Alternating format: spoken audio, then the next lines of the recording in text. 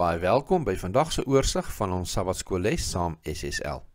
Ons is by les 5 in ons derde kwartaal se lesse en kyk vandag Donderdag 1 Augustus na 'n ander soortige Messias waar ons Markus 6 vers 34 tot 52 gaan lees.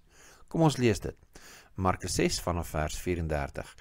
En toe Jesus uitklim, sien hy 'n groot menigte en hy het vir hulle innig jammer gevoel omdat hulle so skape sonder 'n herder was en hy het hulle baie dinge geleer.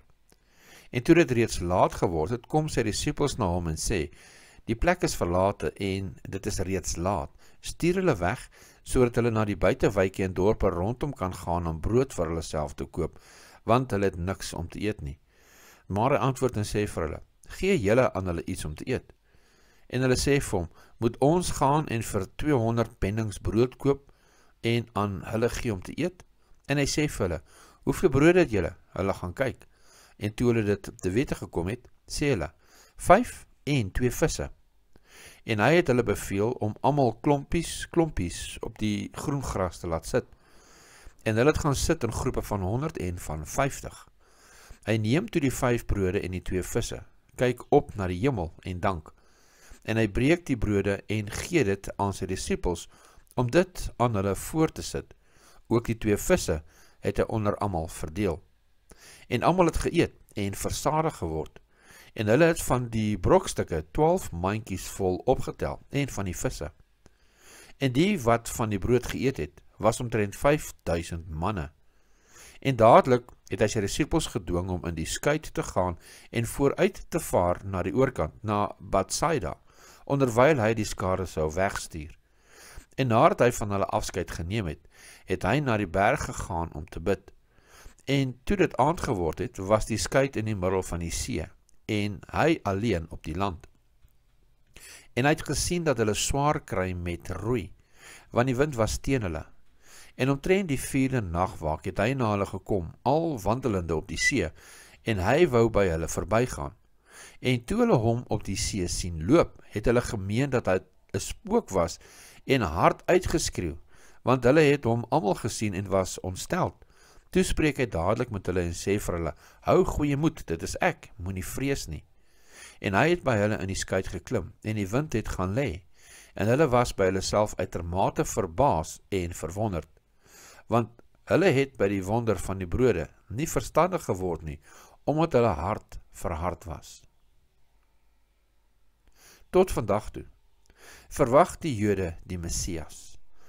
Dit is 'n politieke Messias wat hulle verwag en begeer om al die aanval teen Israel, al die vyande tot 'n einde te bring en die Jode oor die wêreld te laat regeer, waar die Joodse nasie die leiers van die wêreld gaan wees. Soos vandag was dit ook so die begeerte van die Jode in Jesus se tyd.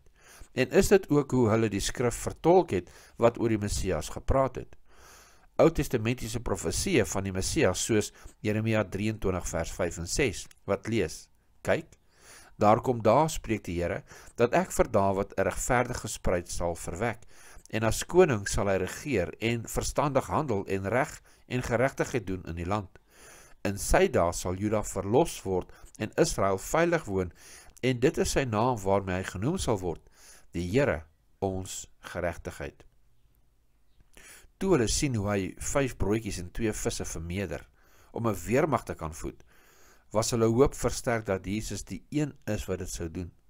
Maar Jesus het gekom om ons geregtigheid te wees deur in ons plek die prys vir sonde te betaal. Jesus het nie gekom om die mens van politieke vyande te verlos nie, maar van Satan en van sonde.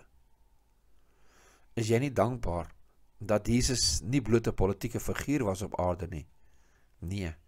Hy is ons verlosser en ons Here en ons God. Wanneer Jesus weer kom, soos hy beloof het hy gaan, gaan hy nie kom om saam met die Jode oor die wêreld te regeer nie.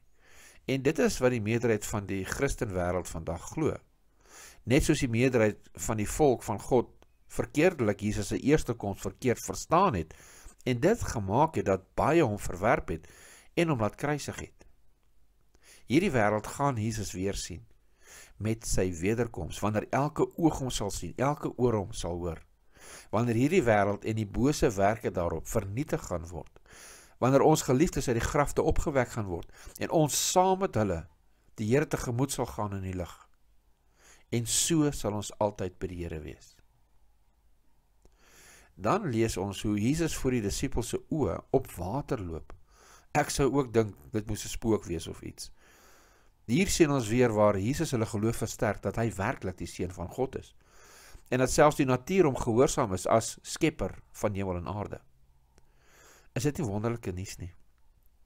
Openbaring 3 vers 20 sê: "Kyk, ek staan by die deur en ek klop. As iemand my stem hoor en die deur oopmaak, sal ek ingaan na hom toe en saam met hom maaltyd hou en hy met my." Ons Here en God voorsien ook die kos vir die maaltyd wat hy in ons saam met ons wil geniet. Die waters waar ons sou verdrink, is die waters waarop hy loop. Met Jesus in my lewe het ek niks om te vrees nie. Behalwe dat ek van hom af sal wegbeweeg. Vader, hou my asseblief na aan u seun se sy, nou en tot in ewigheid.